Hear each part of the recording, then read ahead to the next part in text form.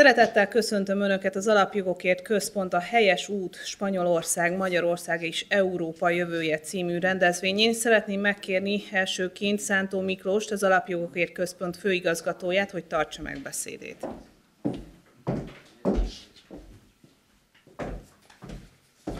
Köszönöm szépen, Adri.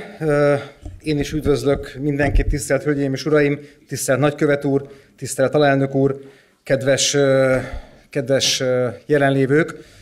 Még egyszer külön is üdvözöljük spanyol barátunkat, Juan García Gallardót, aki fiatalkora ellenére Spanyolország legnagyobb és egyik legjelentősebb tartományának, Kastília és Leonnak a, az alelnöke a Vox jobboldali párt színeiben. Kastília és Leon korábban leginkább a lenyűgöző kulturális öröksége miatt volt érdekes számunkra, de 2022 óta azt is tudjuk, hogy a tartomány az európai jobboldali rekonkvista, azaz visszahódítás iskola példája. Nézzük a számokat. A 2019-es tartományi választásokon a, a Vox egy, azaz egy darab mandátumot szerzett az autonóm tartományi parlamentben, 2022-ben viszont 13-at. Ilyen ütemű jobboldali erősödést szeretnénk látni mindenütt Európában. És Kastília példáján azt is megtanulhatja Európa, hogy a jobboldali erők, hogyha összefognak, akkor megállíthatatlanok. Kastíliában a néppárt és a Vox hatékony együttműködése hozta meg a sikert és a, a helyi kormányzás lehetőségét, és buktatta meg a baloldali neomarxista globalista erők aktuális helytartóit. Itthon, itthon ezt úgy mondjuk, együtt erő vagyunk. Szóval spanyol és magyar jobboldalnak együtt kell működnie. Az alapjogokért központ a partnereivel, például a Matthias Corvinus kollégiummal ezért is tesz, és ezért örülünk, hogy itt van most ez a spanyol delegáció. És a spanyol és a magyar jobboldal is tisztában van vele, hogy a reconquista a 21. században nem csak a konzervatív oldal küzdelme, a szélsőségesen liberális globalistákkal szemben, akik mindent végképp eltörölnének, ami fontos számunkra, Istent, családot, hazát. Igen, itt nem pusztán jobboldali ellenforradalomra, hanem a józanész forradalmára, az európai politikai döntéshozatal visszahódítására van szükség. És a Reconquista egészen konkrét húsba vágó jelentéssel bír ma is, amikor az Európára nehezedő, felmérhetetlen léptékű migrációs nyomástól is védjük szuverén államainkat, kultúránkat és identitásunkat. Spanyol harcos társainknak van ebben már rutinjuk, egészen a 9. századtól kezdve, amikor az ibériai félszigetre benyomuló militáns iszlámot először megfékezték és elkezdték kiszorítani. Mi kellett ehhez? Nos, szimbolikusan éppen a budapesti Hősök terén található Szépművészeti Múzeumban van egy világhírű festmény, amelyet ajánlok minden spanyol barátunk figyelmébe, meg persze magunkéba is a kiemelkedően gazdag El Greco gyűjtemény mellett. Giambattista Tiepolo, Tiepolo alkotta meg Szent Jakab, Santiago de Compostela, a mórok legyőzőinek monumentális apoteózisát, amelynél jobban talán egy műalkotás sem jeleníti meg a keresztény hit erejét. Akcióban, csatatéren. És világos, hogy a kereszténység, a keresztény hagyományaink védelme és a migrációs válság nem két külön téma, hanem egy és ugyanaz. Hit nélkül ugyanis nincs európai önvédelem, nincs ellenálló identitás, hit nélkül a genderfluid, a sokszínűségbe és a háborús propagandába belebolondult Európa előbb-utóbb a kulturális, társadalmi és gazdasági öngyilkosság szakadékának szélére fogja magát kormányozni. És igen, az európai léptékű rekonkvista egy fontos mérföldköve, próbatétele vár ránk június 9-én az európai parlamenti választásokon, hiszen mi nem, el, hiszen mi nem elhagyni akarjuk Brüsszelt, hanem elfoglalni, visszahódítani azt. A fentiek fényében ö, talán mindannyian sejtjük, tudjuk, hogy ennek a választásnak nagyobb tétje van, mint valaha, önmagán túlmutató civilizációs jelentőséggel bír.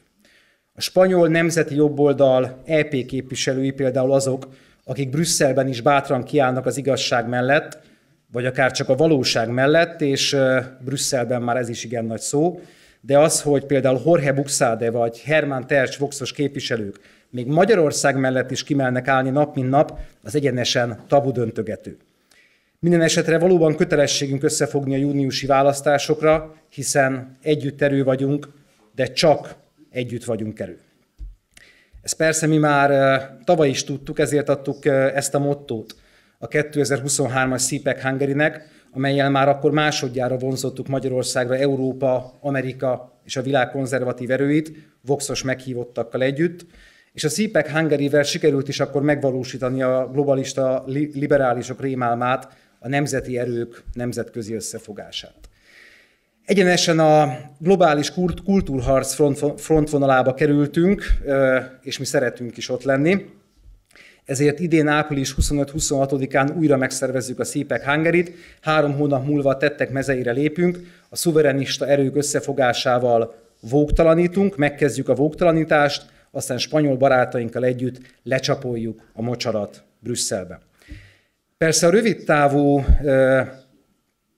célok mellett hosszú távú megfontolások is összekötik a spanyol és a magyar jobboldalt, ez pedig a szuverenitás és ezáltal a demokrácia védelme.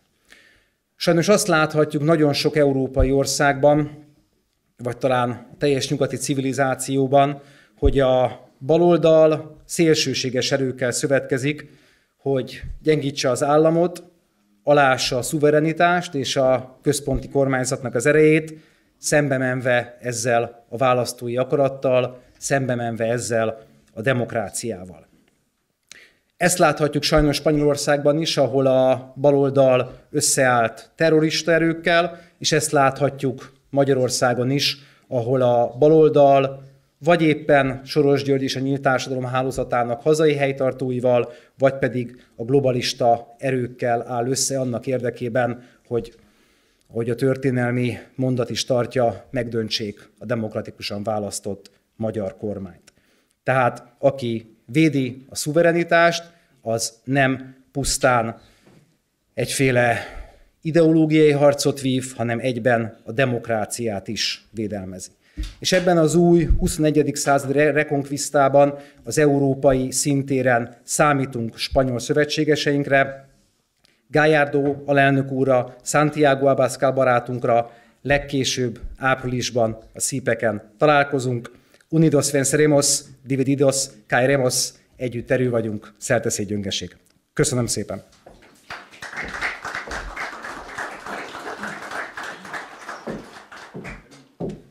Köszönjük szépen, igazgató úr. Most pedig felkérném Juan García Gallardót, Kastília és Leon tartomány, tartományi alelnökét, hogy tartsa meg beszédét.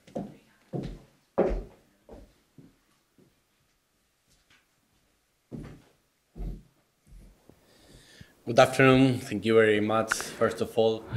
Szép délután kívánok mindenkinek, nagyon szépen köszönöm a meghívást, nagy megtiszteltetés és öröm számomra, hogy itt lehetek.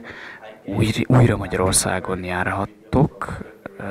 A Régiók Bizottságának munkája során novemberben jártam itt tavaly, ugye ott az ECR párt színeiben Kasztiliát képviselem, úgyhogy volt lehetőség arra, hogy kapcsolatba lépjek önökkel, és hogy ellátogassak Magyarországra, hogy tapasztalatokat osszunk meg egymással, hogy meghallgassuk egymást, és beszéljünk egymással. Most csak egy 5 perces kis beszédet szeretnék tartani, és utána lesz egy kis vitánk is. Um, Orbán Viktorral együtt már ugye találkoztunk egy, a nagy nemzetközi szípek konferencián, és egyetértünk vele, hogy nem szabad milliónyi migránst behozni Európába, meg kell védenünk a szuverenitásunkat a brüsszeli bürokraták ellen.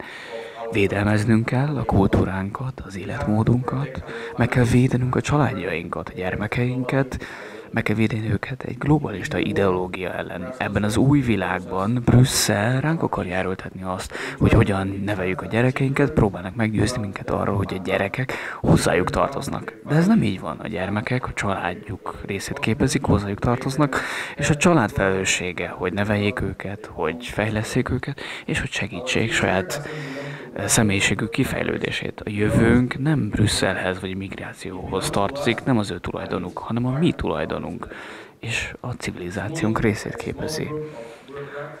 egy kis csoportnyi brüsszeli bürokrata azt gondolja, hogy ők azok, akik Európát építik. De tévednek. A szuverén államok építik Európát. Mert igenis tudunk szebb és jobb jövőt építeni, de először is meg kell védeni a saját identitásunkat, a keresztény civilizációnkat, a körös, keresztény örökségünket. Együtt ezt sikere vihetjük, ennek érdekében azonban a következő dolgokat kell elérnünk. Nagyobb hatalmat kell adni a legjobb Európa valódi létrehozóinak, tehát a szuverén, szuverén nemzeteknek.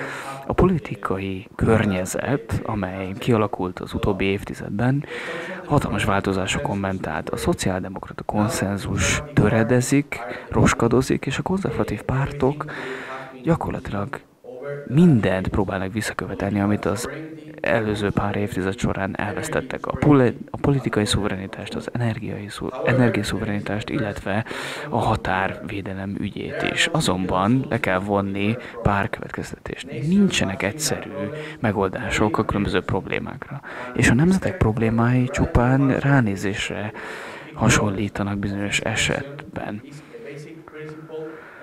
Uh, és nyilvánvalóan nekünk konzervatívoknak együtt kell élnünk egymással, együtt kell dolgozni egymással, politikai mozgalmakkal kell kapcsolatot felvenni világszerte, annak érdekében, hogy megvizsgáljuk, hogyan küzdenek meg a közös kihívásokkal, és a nemzeti perspektívából kell meghozni a saját döntéseinket. Az ilyen konzervatív erők közötti egy e, találkozók erősítik a kapcsolatot köztünk, és lehetséges, hogy mondjuk 30 évvel ezelőtt elképzelhetetlen lett volna egy ilyen közelműködés, együttműködés. Viszonylag széles konszenzus van arról, hogy kik az ellenségeink. Nyilvánvalóan mi az ész érveket, szeretnénk a központba helyezni, a gender ideológia ellen akarunk fellépni, meg akarjuk védeni a határainkat, és a gyermekeinket is szeretnénk megvédeni. Ez az, ezek azok a dolgok, amiket mi spanyolok a magyaroktól eltanulhatunk, egy realista megközelítést, ami a problémákat illeti, illetve a politikai pragmatizmust is megtanulhatjuk. A spanyol perspektívából vizsgálva ez lehetséges, hogy nem, egy, nem tűnik egy könnyű dolognak, de szerintem végső soron nyerhetünk. Spanyolországban keményen küzdenek az ellenfeleink, és nem fogják megkönnyíteni a dolgunkat. A baloldal és a globalisták tudják, hogy a Vox több, mint, több millió spanyol erős meggyőződését képviseli. Erősnek kell lennünk, mert a nemzetünk túlélése forog kockán. Egy olyan nemzeti kormány van hatalmon, amely a radikális baloldal, a kommunistákkal, a szeparatistákkal és a baszk országból érkező terroristákkal működik együtt. Van egy 2023-as menetrend, volt egy ilyen menetrendjük, amely egy olyan gazdasági és szociális uh, menetrendet akar megvalósítani, amely pusztító a középosztály számára, illetve a legkiszolgáltatottabb társadalmi rétegeket is negatívan érinti. Egy olyan globalizmussal állunk szemben, amely férfiak és nők között háborút szít, és a gyökereinket ö, támadja, a kulturális gyökereinket. Egy olyan multikulturalizmussal állunk szembe, amely promotálja azt, hogy több százezer illegális migráns törjön be hozzánk, és uh, zavarja meg a békét ott, ahol mi élünk. Nyilván azért jöttem ma ide, hogy tanuljak önöktől, hogy tanuljak az önök kormányzatától. Úgy gondolom, hogy közös fenyegetésekkel nézünk szembe, amelyekkel együtt meg tudunk küzdeni, és remélhetőleg ezen beszélgetéseket követően felkészültebben vághatunk neki a júniusi európai parlamenti választásoknak, és reméljük, hogy meg tudjuk duplázni a képviseletünket, mandátumaink számát az Európai Parlamentben, és reméljük, hogy a jövő a patriótáké lesz. Köszönöm szépen, és akkor nézzünk a vita elé. Most pedig pódiumbeszélgetésünk következik.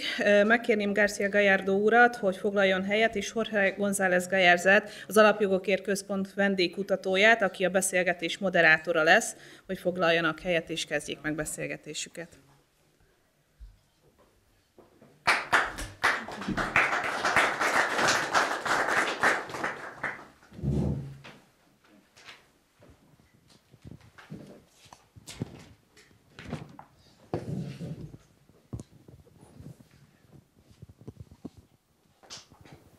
Okay.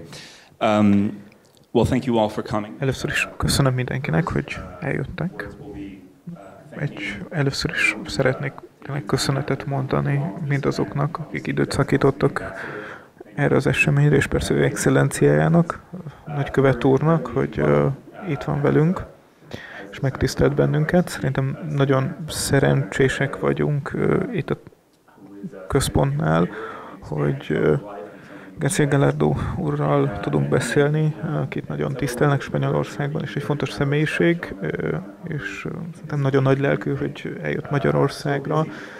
Az elmúlt napokban nagyon elfoglalt volt, szombaton Madridban volt, a Vox vezetőjének újraválasztását ünnepelték, aztán Spanyolország északi részén készült az újraválasztásokra, regionális parlamentre ott egy kemény küzdelem ígérkezik, és aztán uh, szerdán majd uh, Brüsszelbe fognak utazni a regionális bizottságok ülésére, és ott fel fog szólalni a gazdálkodók érdekében, amely mélyen érdekli önt, mint téma, és uh, hát a sok tevékenység között még minket is meglátogatott, ezért nagyon hálások vagyunk.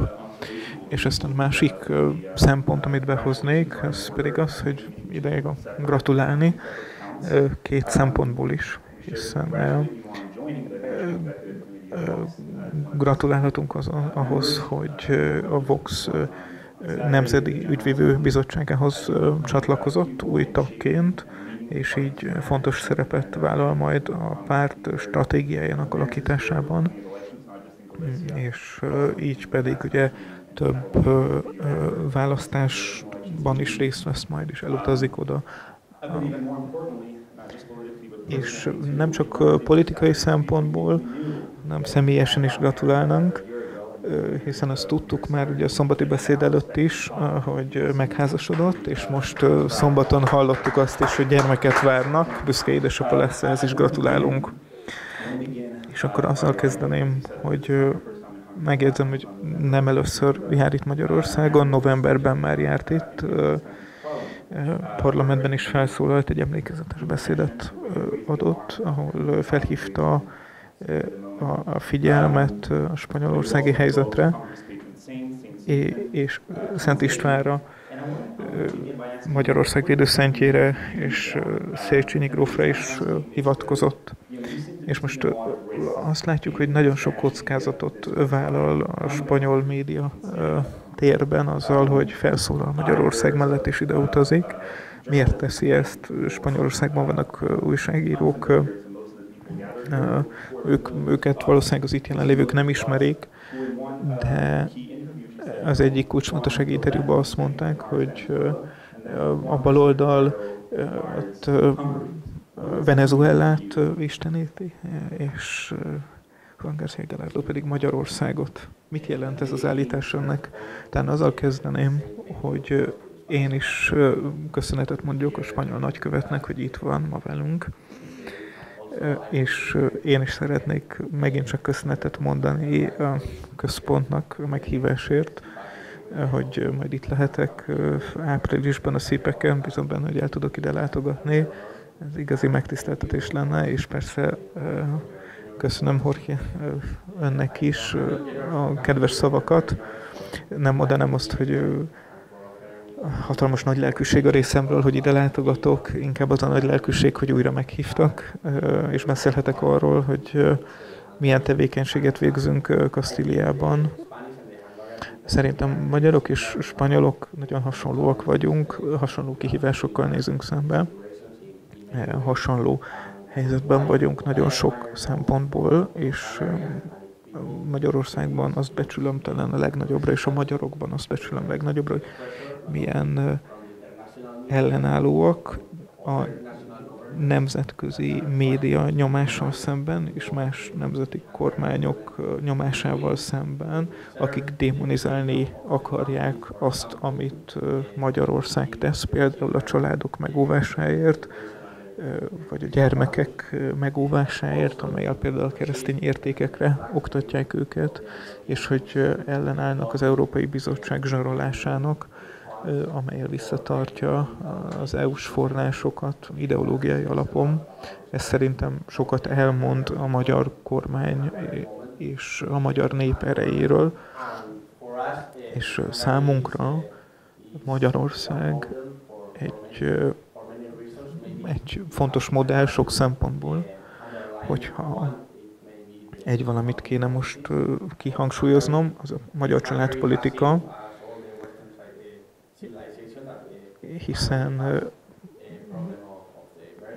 Magyarországon is a születési ráta, mint mindenhol nyugaton problémát jelent, és a magyar kormány ezért egy nagyon erős családtámogatási politikát kezdett meg, és most a tapasztalatokból látjuk, hogy adókedvezményeket biztosít ő a családoknak, és azt mondja az embereknek, hogy ha találunk valakit, akit szeretnek, akkor alapítsanak családot, neveljenek gyermekeket, és hogyha nehéz gazdasági helyzetben vannak, akkor a magyar kormány támogatni fogja őket.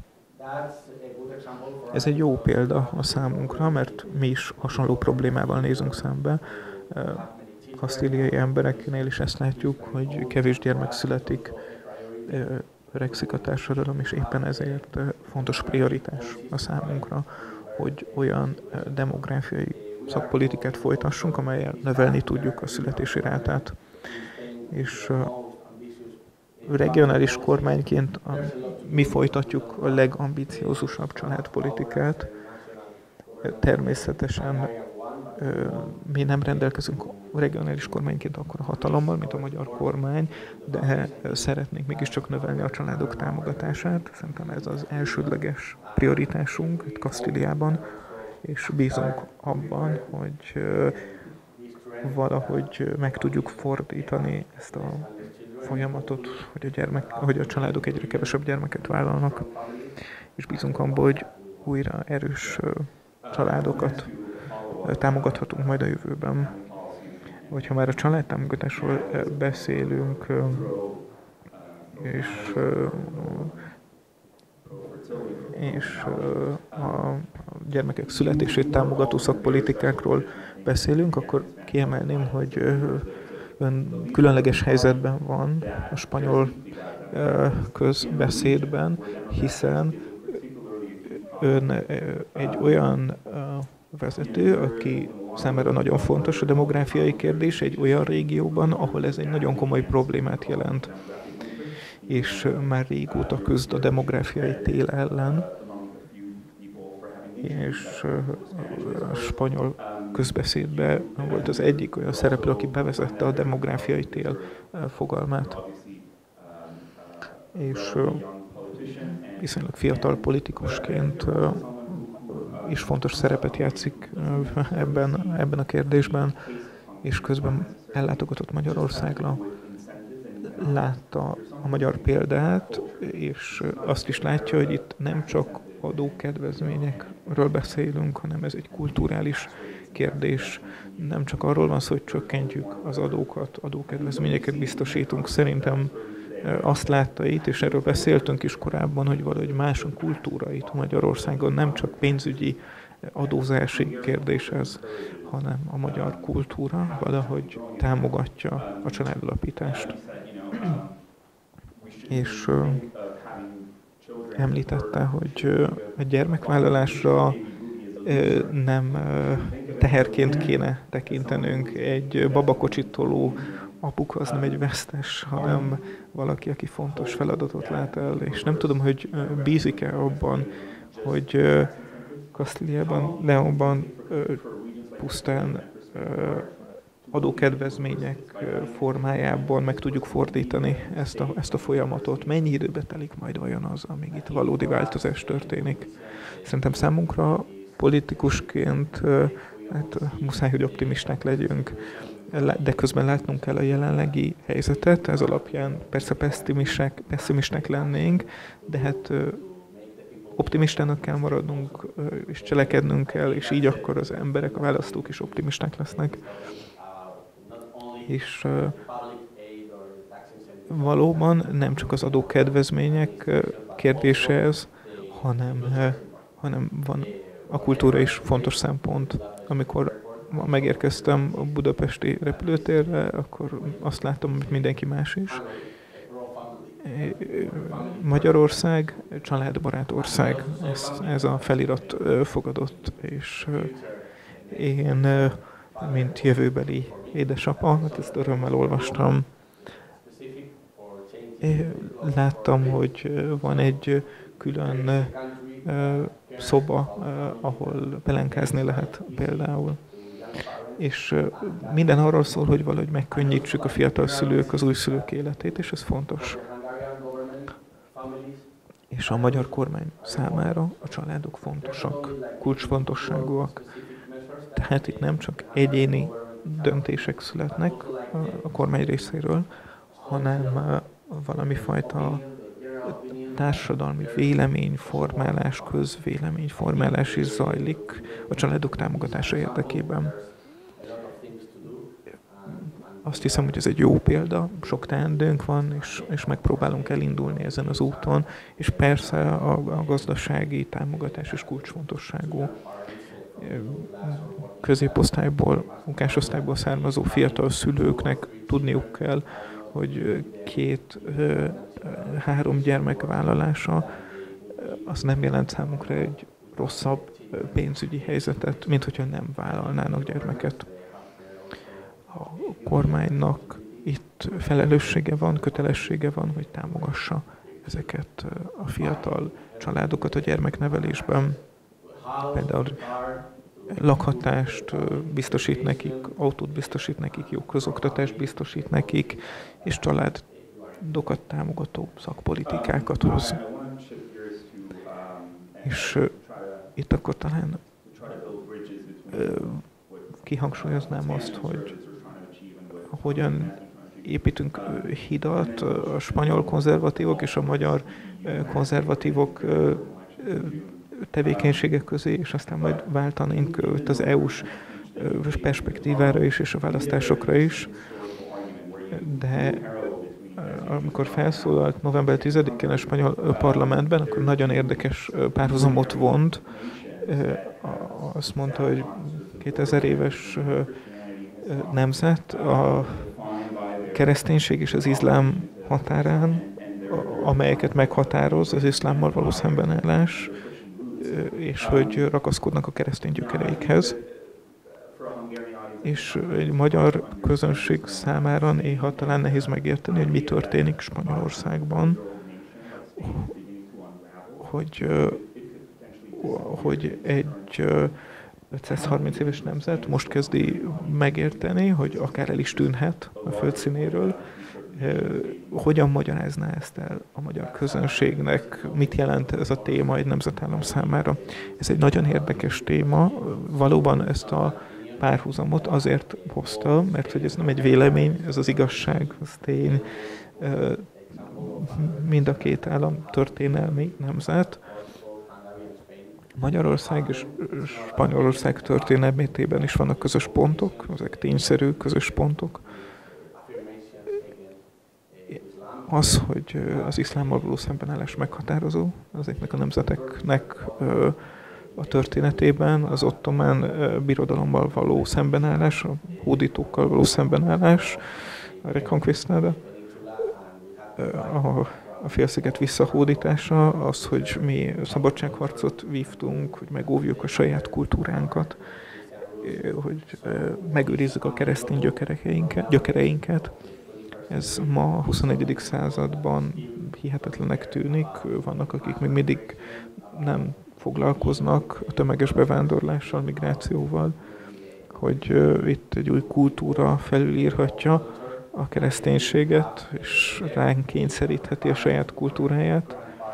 Itt azt hiszem, hogy össze kell fogni a szüleinkkel, a nagyszüleinkkel, hogy megóvjuk a saját nemzetünket és identitásunkat, mert hogyha itt ennyi generációja a magyaroknak, németeknek és franciáknak azért küzdött, hogy megőrizze a nemzetünket, akkor az a kötelességünk, hogy mi is így tegyünk. Legyen egy nemzetünk, amely egyébként nyitott legális és rendezett bevándorlás irányába, de közben mindent megtesz az identitása és kultúrája megőrzése érdekében, és ez számunkra pártként is prioritás. És talán itt akkor váltanék az EU-s szintre, mert azt hiszem, van itt valami, amihez a magyarok könnyebben kapcsolódhatnak, ami Spanyolországban történik. A, a jogállamisággal kapcsolatos vita, hiszen Magyarországon is már régóta felszólalnak azzal kapcsolatban, hogy egyfajta fegyverként használják a jogállamisággal kapcsolatos érveléseket Brüsszelben. Ezt ugye láthatjuk most folyamatában is az Európai Bizottság Európai Bizottság hogyan használja ugyanígy fegyverként a jogállamisági kérdéseket Spanyolországgal kapcsolatban. Holnap fognak szavazni egy ilyen törvényről, az amnestia törvényel kapcsolatban a bizottságban például. És lát-e arra esélyt, hogy a Vox tehet, tehet valamit ebben a kérdésben? Hát próbáljuk persze megóvni a demokráciánkat és a jogállamiságunkat mindenhol Brüsszelben, a bíróságokon és az utcán is, de hát nem várunk sokat. Ettől az Európai Bizottságtól, ahogy azt látjuk Magyarország és Lengyelország esetében ma egy kettős mércét alkalmaznak a jogállamisággal kapcsolatban és a demokrácia védelmével kapcsolatban. Látjuk, hogy milyen boszorkányüldözés folyik Lengyelországgal és Magyarországgal szemben, amelyhez felhasználják az európai forrásokat is, nemzeti politika miatt, amit ez a két ország folytat. És hát látjuk azt, hogy ez az Európai Bizottság ez nem foglalkozik azzal, hogy mit csinál például a spanyol kormány a jogállamiság terén. Az az amnestia törvény, amit Spanyolországban valószínűleg el fognak fogadni, ez egy, egy hiba, egy komoly támadás a jogállamisággal szemben, mert meg fogunk feledkezni a polgári felelősség kérdéseiről, és, és ez olyan bűncselekményekkel kapcsolatban, amelyet a spanyol egységgel szemben követtek el, és azt hiszem, hogy ugye ezek nagyon fontos bűncselekmények, amelyeket elkövethet, talán a legkomolyabb bűncselekmények, amelyeket egy nyugati államban elkövethetnek, nemzetelleni bűncselekményekről beszélünk itt, és Éppen ezért fel fogunk szólalni Brüsszelben, Madridban, regionális parlamentekben is, de nem várunk sokat ettől a jelenlegi Európai Bizottságtól. És azt hiszem, hogy talán most rátérhetünk lassan az utolsó kérdésre, ha marad még időnk, akkor még van egy kérdésem, de majd meglátjuk. Most ugye közelednek a júniusi Európai Uniós választások, és most minden központ azon gondolkozik, hogy, és azt látja, hogy a szuverenisták, reformisták előre törnek majd az Európai Parlamentben, és mi most ugye együtt töltöttük a napot Budapesten csapattal, és holnap is itt lesz egész nap. Mit gondol, hogy milyen lehetőségek nyílnak arra, hogy valahogy koordináltan együttműködjenek ezek a csoportok az Európai Parlamentben. Mi, persze az is kérdés, hogy egyáltalán a Vox miben reménykedik, mitől tart ebben a megmérettetésben, és aztán sok vezetővel beszél, nem csak a fidesz hanem más vezetőkkel is Spanyolországon kívül is Európában reménykednek abban, hogy június után valódi változást tudnak elérni az európai politikában. Igen, úgy gondolom, hogy ezek a konzervatív pártok, amelyek az ECR-ben is ott vannak az Európai Parlamentben, aztán ott van a Fidesz, meg az IDE és az Európai Parlamentben, tehát ezek a pártok olyan kihívásokkal állnak szemben, amelyekre adott válaszokat mindenképpen koordinálni lehetne az európai választások előtt. Tehát ugye az észérvek, ből ered a mi politikánk, ez egy ilyen természetes perspektíva, ebből szemléljük a, a történéseket, a nemzetnek az ideáját, és ebből a perspektívából nézzük a szuverenitás kérdését, a gyökereinket is, a keresztény örökségünket is. Vannak olyan témák azonban, amelyeket kihasználva talán előre törhetünk az Európai Parlamentben, nem csak a Voxot, hanem a konzervatív pártokat is, és az utóbbi hónapokban, hetekben mindenképpen láthatjuk ezen pártoknak az előretörését Hollandiában, Franciaországban, Németországban, illetve más jelentős európai országban is. Um, például az élelmiszer szuverenitás gazdák rendkívül aggódnak a helyzetük miatt, ugyanis az Európai Unió egyre több bürokratikus terhet ró a vállukra, ami számukra így már fenntartatatlanná válik, és hát mi is próbáljuk támogatni Kasztíliában, illetve Spanyolország többi részében is a gazdákat. Szerintem az egyik legfontosabb téma, amely majd felmerül az európai választás előtti viták során. Ugyanakkor vannak nagy problémák is, amivel szembenézünk, más nagy problémák is, az illegális migráció, bevándorlás. Spanyolországban naponta érkeznek hajónyi emberek a déli határra, a Kanári-szigetekre, Andalúziába, más területekre is. Tehát Spanyolországban a migráció egyre inkább um, csak növekszik és gyarapodik, tehát ez a probléma egyre súlyosbodik. A Vox volt az Spanyolországban, amely felszólalt az illegális migráció ellen, és szerintem ez egy olyan téma lesz, amely központi szerepet fog játszani, illetve meg fogja határozni nagy mértékben az Európai Uniós illetve európai parlamenti választásoknak a kimenetelét. Szerintem az emberek Spanyolország szerte, illetve Európa szerte kezdenek belefáradni a vókizmusba, a gender ideológia hullámába, a transz szellemiségbe, a férfiak és nők közötti állítólagos küzdelmekbe, és szerintem az olyan pártok, mint mi, amely ezen 2023-as agenda menetrend ellen harcolnak, meg a vókizmus ellen, ezeket a pártokat szerintem az Európai Uniós választások során, Európai Parlamenti választások során sokan fogják támogatni. Egy normál helyzetben, ahogy azt várhatjuk is, szerintem mindenképpen mandatum növekedésre számolhatunk.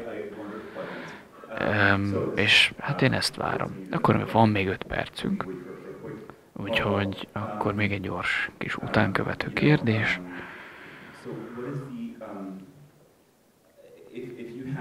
Hogyha Ugye említett pár olyan témát, amely potenciálisan segíthet ezen erőknek egyesülni pár téma körül, migráció, a vók ideológiai elleni küzdelem, a gazdáknak a támogatása, ide sorolhatnánk mondjuk a szuverenitásnak a védelmét is. Tehát ezek azok a témák, amelyek körül egyesülhetnek a jobboldali pártok. A kérdésem arra irányul, hogy mit gondol egy szípekhez hasonló esemény mit segíthet elérni? Nyilvánvalóan szeretnénk, hogyha ön is újra itt lenne majd Budapesten. Nagy mértékben arra koncentrálunk majd ezen esemény során, hogy ez a koalíció megerősödjön és a munkánk folytatódhasson. Mit gondolsz, melyek azok a témák, amelyben nem értünk egyet, és hogyan tudunk egyfajta összhangot teremteni ezen témák tekintetében a választások előtt? Hát nem akarok annyira ezen kérdésekre fókuszálni, szerintem egyébként a kérdések 95%-ában egyetértés van. A család, a szuverenitás témája mindenképpen olyan dolog, amely köré amely vonatkozásban együttesen lépünk fel, hogy hogyan vonjunk be nemzetközi befektetéseket az országainkba, hogyan tartsuk fenn az ellátási láncoknak a stabilitását, tehát rengeteg olyan dolog van, amely közös számunkra. És ami még közös számunkra, az az ellenség. Egy az ellenségünk, a globalisták meg a baloldaliak. Tehát a kis különbségek ellenére rengeteg olyan dolog van, amely együsít minket, amely összehoz minket. Szerintem azok a dolgok eltörpülnek majd. A legfontosabb dolog az az lesz, hogy minden egyes országban látni kell azt, hogy a médiát igazából a balos újságírók dominálják le, és támadni fogják a javaslatainkat, az ideológiánkat, az ötleteinket, úgyhogy nekünk meg kell próbálni megvédeni magunkat. Szerintem félre kell tenni a nézeteltéréseket, a különbségeket, a közös erőfeszítésekre kell koncentrálni, közös kihívásokra, és akkor az, el, az eredmény sem marad el. Ahogy már említettük, ugye támadtak minket mondjuk azért, mert támogattuk a magyar javaslatokat is Európa szerte, illetve hát a legtöbb magyar javaslatot, hogy őszinte legyek. Mi tudjuk azt, hogy az igazság győzedelmeskedni fog, és fontos az, hogy a konzervatív mozgalmak a magyar attitűdöt tegyék magukévá, hogy álljunk ellen, hogy ne engedjünk a zsarolásnak, és álljuk ki azokat a támadásokat, amelyek érnek minket a világ különböző pontjéről, és hogyha a választáson jól sikerünk, jól, választás jól sikerül, akkor győzedelmeskedni fog az igazság, és a patrióták, a hazafiak fognak győzedelmeskedni. Hát szerintem ez egy méltó lezárás a mai eseménynek. Nagyon szépen köszönjük, hogy itt voltak velünk, úgyhogy szeretnék én egy nagy tapsot Juan García Gallardónak. Köszönjük szépen neki, hogy itt volt velünk. Még egy napot itt leszel velünk, itt töltesz velünk Budapesten, lesz holnap is egy esemény este, és akkor szerdán utazol tovább Brüsszelbe, úgyhogy ezzel szeretném megköszönni akkor, hogy utaztál hozzánk. Köszönöm szépen Jorge, köszönöm szépen a meleg fogadtatást, hogy megrendeztétek ezt a rendkívül érdekes tematikát körbejáró beszélgetést, és hogy ilyen elképesztő közönség előtt beszélgethettünk. Remélem, hogy hamarosan újra találkozhatunk. Köszönöm szépen.